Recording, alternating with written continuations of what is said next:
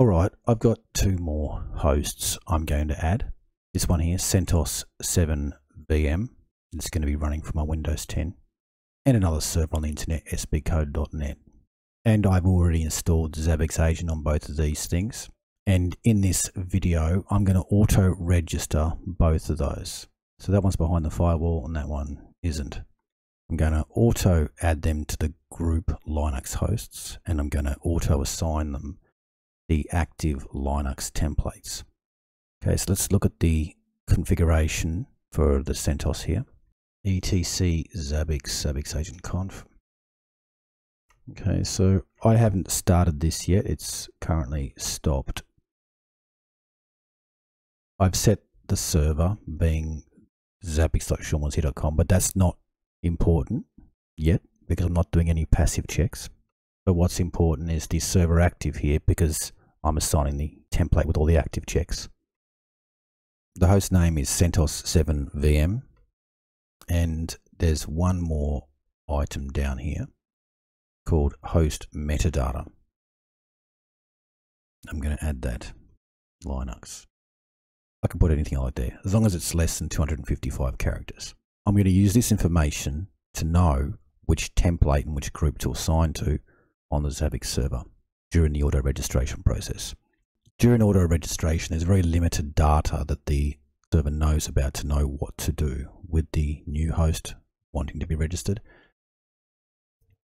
You could put something in your host name to say or suggest that it was Linux. I mean, CentOS is a pretty good indicator, but not everyone names their hosts like this. So you can use the host metadata property here and just create something, anything you like. Host metadata for me equals Linux. Control X. Yes. Now on my other server on the internet, the SB code server, I'm SSH'd onto it.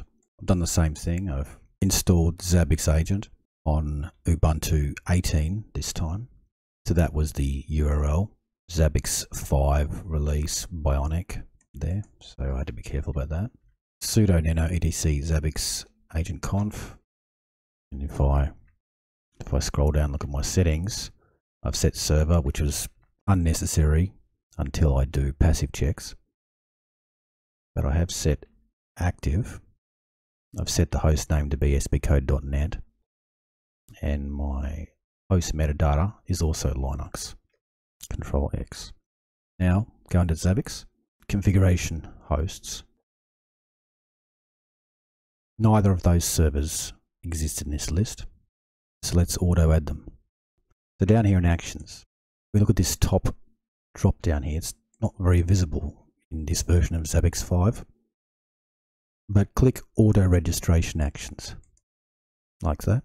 Now we can create an action. I'm going to call this action auto add Linux hosts. Condition, we have some choices here. We could use host name or host metadata or proxy. Select host metadata contains Linux. Add. Right, now click operations. Let's add the host. Then add the host to a group, Linux servers. Add link to template. Select your template. I'm going to use template OS Linux by Zabbix Agent Active add. That's very good. Add. Okay, so I have a new action in here that should auto add hosts that make active checks to the server as long as they contain host metadata equals Linux. Those hosts should end up here in configuration hosts in here.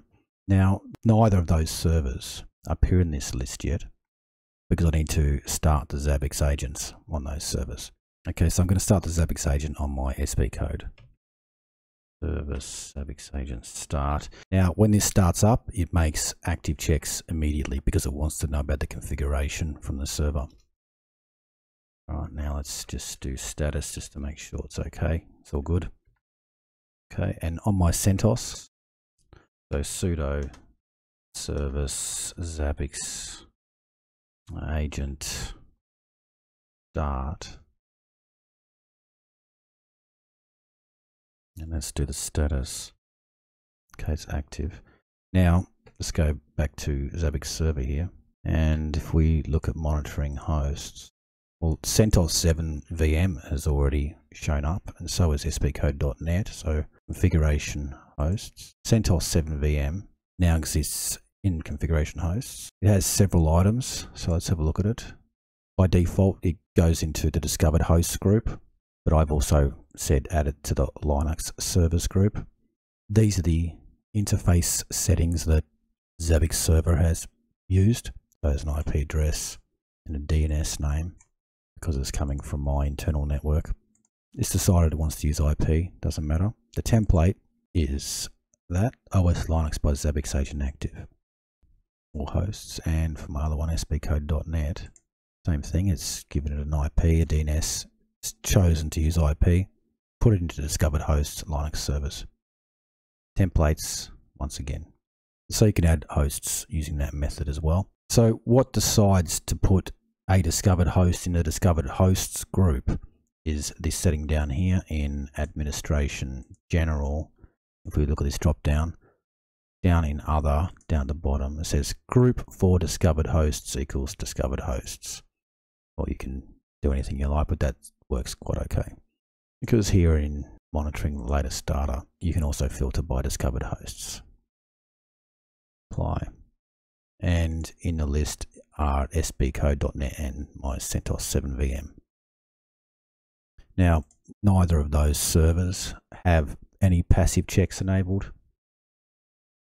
So you won't get the green availability icon there. My sbcode.net's on the same network as my Zabbix server. So, and I've already set the server parameter, so I could just enable this passive check straight away if I wanted to.